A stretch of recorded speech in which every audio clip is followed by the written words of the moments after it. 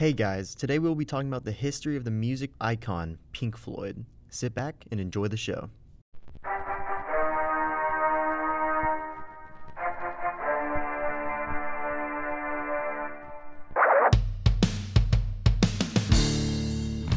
Welcome to the Music Archive, the podcast to learn the history behind the music you love. I'm your host, Cameron Wallace, and let's get into the show.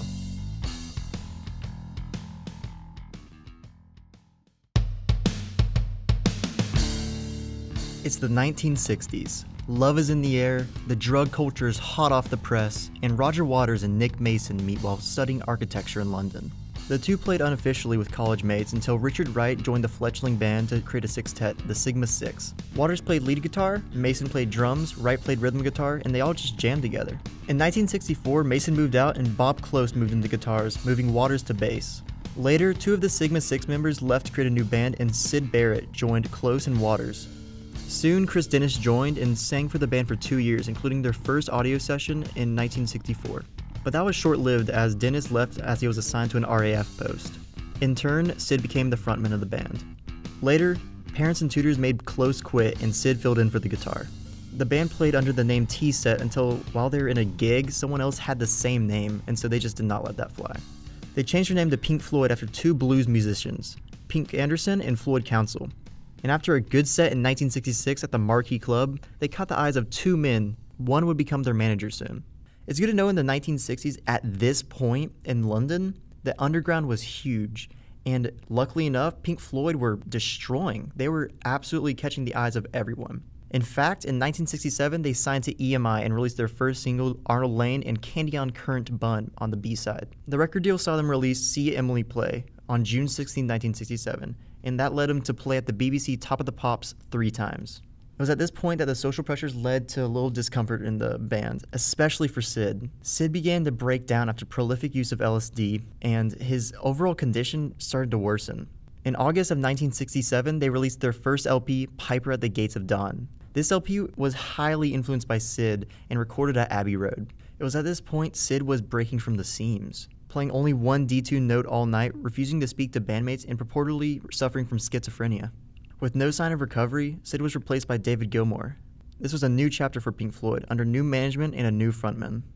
In 1968, they released Saucerful of Secrets, and in 1969, they released their LP More.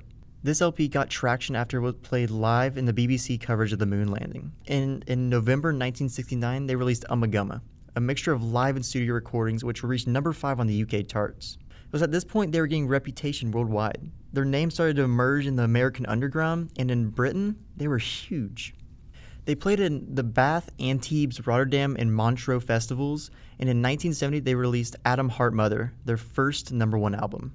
On a literal creative roll, they shot live at Pompeii, recorded a movie soundtrack, and began to working on their new album. This new album, initially entitled Eclipse, saw them making their biggest project yet. Waters wanted to make a conceptual album that would, quote, make people mad and focus on social pressure, insanity, death, greed, and mental anguish. While finding an album cover, their associate, George Hardie, gave seven designs for the album cover, but one was chosen by unanimous decision a prism. In March 1st, 1973, Dark Side of the Moon released and lit the world on fire.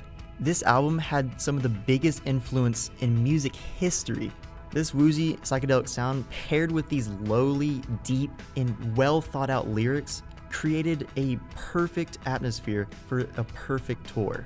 They set off with one of those prolific tour schedules with stunning visuals like crashing airplanes, flaming gongs, and bright projections. Dark Side of the Moon is known today as one of the most influential albums of all time and one of Floyd's absolute masterpieces. Going for gusto, they started recording their new album. While recording Shine On You Crazy Diamonds for their next album, a quiet, confused, heavy man with shaved head and eyebrows walked into the recording session. The man didn't talk at all and just kind of stood there and stared at them. It was a few minutes till they realized it was Syd, and that was the last time they talked to him, and he left as strangely as he appeared. It was at this point the band was beginning to get a little tense. Waters and Gilmour were constantly disputing over creative control and ownership over the name. Despite this, in 1975, they released Wish You Were Here, their fastest selling album to date. It hit number one in the US after only two weeks and was a huge hit to Western audiences. In 1977, the Animals tour began, With giant inflatable animals and sound effects, the tour adjusted expectations to audiences about what a tour can be. It was also in this tour where Waters spat into the crowd when asked to play their old stuff. This outburst from Waters led to their next project, The Wall, an autobiographical reflection by Waters as it charts the progress of a rock star dealing with loneliness and grief after the death of his father. Waters' father became a very frequent point of attention. Waters' father died in World War II and left him alone dealing with the grief. The Wall tour also highlighted the absolute separation the band was starting to feel from each other, as they literally were building bricks on stage between them. In 1983, they released The Final Cut, this album was directly attributed to Waters as he talked about themes of an undeveloped post war dream. And then in 1983, the band fell apart. Tension over the ownership led Waters to unsuccessfully sue the others for the name. Waters left the band, but Gilmour, Mason, and Wright continued to playing. In 1987, they released A Momentary Lapse in Reason and spawned their biggest tour ever. 5 million people showed up over the span of 200 shows.